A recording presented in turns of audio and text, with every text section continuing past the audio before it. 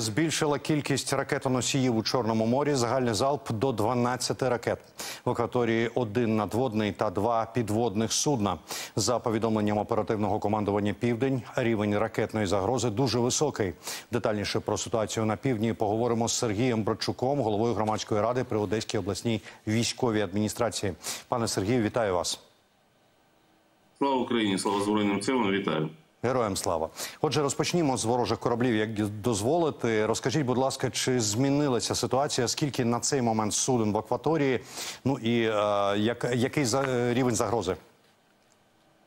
Ну, якщо ми говоримо про рівень загроз саме ракетно-дронових ударів, то він звичайно залишається на півдні, і ми не виключення по всій країні на рівні дуже високий. І наразі дійсно вчора три ракетоносії після певної паузи з'явилися у Чорному морі.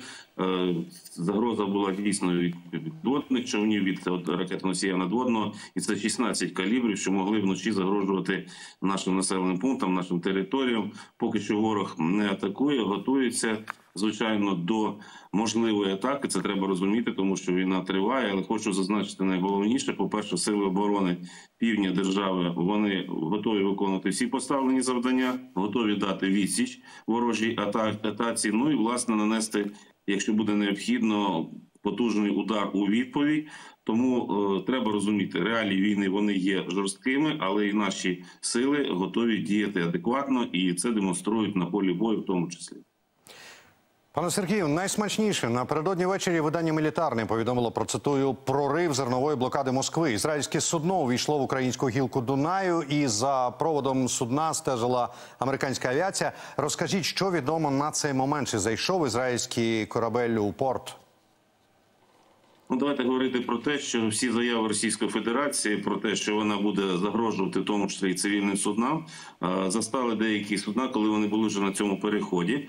Тобто, якщо ми будемо говорити так, ну я розумію емоції, розумію позитивні емоції від цього всього, то треба все таки бути стриманішим.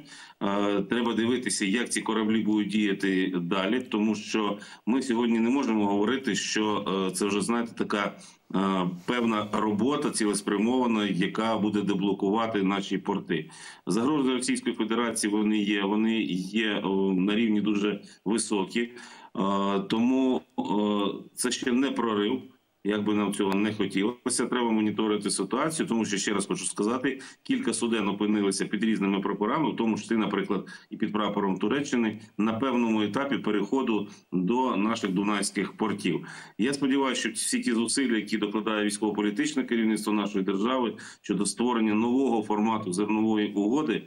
Е, звичайно, без Росії за участі наших союзників, партнерів, е, перш за все у Чорному морі. Я сподіваюся, що цей формат максимально швидко запрацює. Будуть визначені ці маршрути. Ну що стосується дунайських портів, то вони звичайно посідають у цих логістичних ланцюжках дуже важливе місце.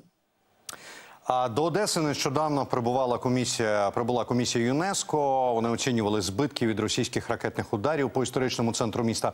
Чи відомі результати? Які споруди можливо відновити? Які вже на жаль ні. Ну тут важливо говорити про те, що мова йде не про окремі споруди. Хоча, звичайно, в документах все це буде відзначено. Мова йде про весь історичний центр нашого міста, про весь історичний ареал. Тобто, ця місто забудова, яка визначена в документах ЮНЕСКО, саме вона і є під захистом цієї міжнародної організації. Як на мене, то найголовніше в роботі цієї комісії або підсумки роботи цієї комісії, це те, що е, ці документи, ці напрацювання вони ляжуть на стіл міжнародного трибуналу у Гаазі, коли будуть судити російських злочинців за воєнні злочини. Тобто, ця одеська сторінка вона обов'язково буде відображена в цих документах. Ну а власне, що стосується, е, скажімо так, культурно-історичної місії е, цієї організації. Я думаю, що багато з наших партнерів, а таку зацікавленість, наприклад, вже проявили французи, греки, італійці, захочуть долучитися до відновлення, і тут без перебільшення історичного центру е, того нового міста, яке з'явилося на е, руїнах фортеці Хаджибе, і в якому приймали участь е, попередники цих країн. Тобто, ми знаємо ці славетні імена, ми знаємо ці адреси в Одесі. Французький, італійський бульвари, вулиця Грецька, то звичайно зацікавленість наших партнерів вона є величезною, і тут треба відзначити, що і обласна військова адміністрація і мерія міста докладають дуже багато зусиль до того, щоб партнери не просто приїздили і подивилися, а що відбулося в місті після початку великомасштабного вторгнення, особливо під час оцих обстрілів історичного центру Одеси. Головне, щоб вони подивилися, що це можна відродити, що є зацікавленість у нас, звичайно, українців, і ми здатні це зробити.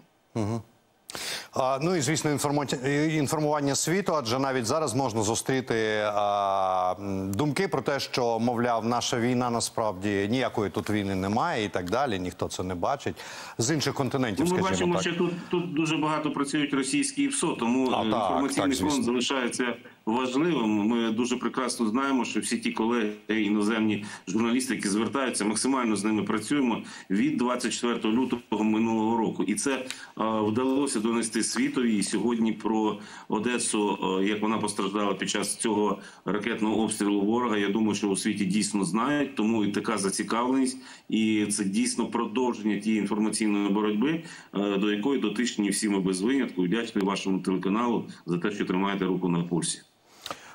Ну, це власне марафону. е, Перш за все, скажіть, будь ласка, напередодні Одеса, частина міста опинилася без світла через ремонтні роботи. По перше, розкажіть коротко, якщо можна, чи відновили? Ну і друге, очільник Одеської обласної військової адміністрації Кіпер заявив, що регіон цитую готовий до опалювального сезону на 60%. Що іще потрібно зробити? е, Зробити? Е, Ну я вам скажу так, що комунальна сфера це та ділянка, де є постійно що зробити. Ми це знаємо прекрасно. І тому, коли говорять про те, що підготовка сьогодні на рівні 60%, вона ж почалася не вчора. Вона буде продовжуватися не лише завтра, і під час опалювального сезону. І коли е, говоримо про це, то я навіть вам скажу більше: опалювальний сезон закінчується. А таке враження складається, що до нового готуються ще до е, оголошення, що ну опалення вже все. Тобто, ми маємо досвід е, цього сезону опалювального. Ми маємо досвід минулого року, і коли обласна військова адміністрація ну надзвичайних умовах разом з енергетиками, разом з іншими е, комунальними структурами таку величезну роботу провели це без перебільшення. Бо пам'ятаємо, як Одеса, Одеський регіон фактично стали столицею українського блекауту після ракетних атак ворога. Тому досвід є. Тому, звичайно, мова йде про захист енергетичних споруд. Ну і власне про опалювальний сезон, те, що ви говорите, е, ще вистачає тих завдань, які треба виконати, але вони сьогодні виконуються. Ж не лише про Одесу. Звичайно, мова йде про увесь наш регіон. Тому напрацювань багато. е, Робота йде планово. А щодо електроенергії, е, дійсно бувають виключення, бувають аварійні відключення. Що було і цього разу. Також були е, проблеми в деяких районах міста з водою. Це теж була аварія, її ліквідували. Трошечки можливо комусь здається, що затягнулося. Але аварія доволі була серйозна. Наразі всі комунальні служби в місті в регіоні вони працюють. Вода є, електроенергія є, і як кажуть в Одесі, Світлана повернулася до всіх. В Одесі завжди щось кажуть. Як скажуть, то скажуть, як відріжуть. Пане Сергію, я вам дуже дякую за ваш час, який ви нам приділили, і за вашу роботу. Звісно, це Сергій Брачук, речник Української добровольчої армії, голова громадської ради при Одеській обласній військовій адміністрації. Дякую вам і гарного дня. На все добре. Ну.